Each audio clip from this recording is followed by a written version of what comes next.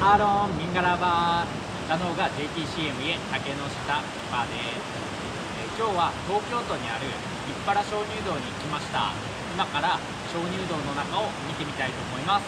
それでは行ってきます。鍾乳洞の中に入りました。この鍾乳洞の中には3つの有名なものがあります。一つは癒しの音です。岩から垂れ落ちる水が癒しの音を出すスポットがあります。2つ目はライトアップです。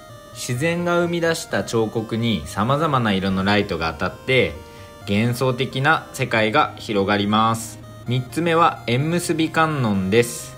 その観音様にお祈りをしたら恋の願いが叶うそうです。後で動画でも出すので恋の願いを祈ってみてください。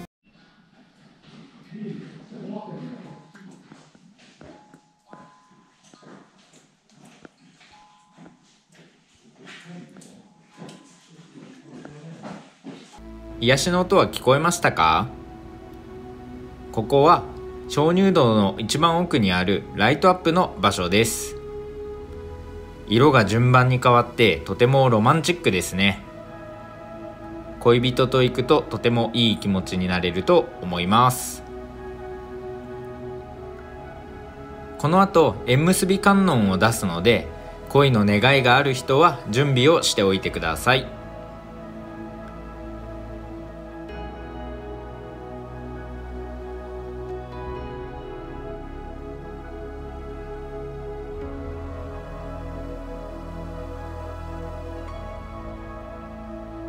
縁結び観音です。観音様に近づきますね。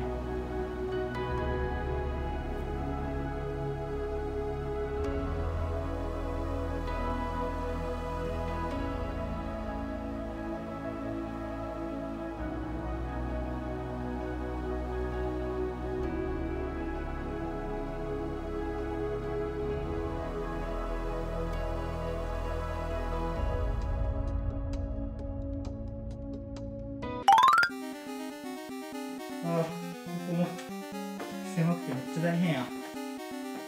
あ頭がきそう。あメガネも曇る。はい。いやー帰ってきました。めちゃめちゃ疲れました。ちょ足がね今もプルプルしてます。